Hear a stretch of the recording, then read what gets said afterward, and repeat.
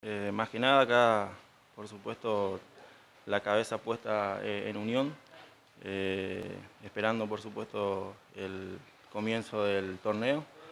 Y sí, efectivamente hay, hay un interés, yo hablé esta semana con mi representante y, sí, efectivamente me dijo que había un interés y que, y que se estaba trabajando al respecto.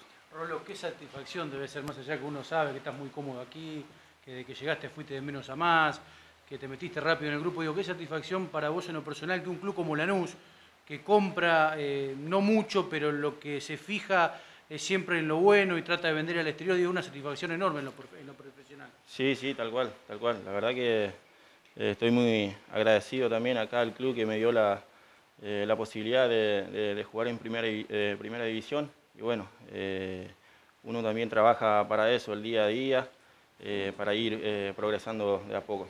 ¿La intención, Rolo, es eh, que, Unión venda el porcentaje que compró el, año pasado tuyo? No, la verdad que yo en, ese sentido no, no, tengo nada eh, claro, porque hablé un rato nomás con mi representante y me dijo que iba a hablar con el presidente, que se iba a comunicar con él.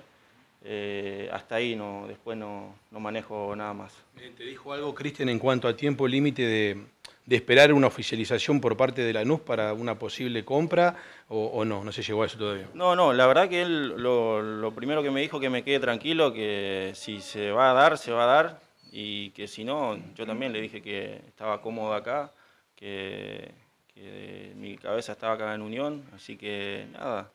Eh, yo también, lo personal, por supuesto, eh, estoy agradecido que un club como Lanús eh, esté interesado en mí, entonces eh, pero bueno, lo principal es que estoy acá en Unión y bueno, eh, tengo que cumplir un contrato también. No es la primera vez, Rolo, que la anuncia fija en vos. Sí, sí, yo el, año pasado ya había hablado con Jorge personalmente, que también eh, me dijo que quería contar conmigo para los Libertadores, entonces, pero fue muy, muy privado todo eso, no, de ahí no, no pasó nada, no pasó nada, pero bueno como te dije, la verdad que estoy, contento en lo personal porque si, un club grande así que se fije en uno es porque uno está haciendo bien las cosas, así que estoy contento por ese lado.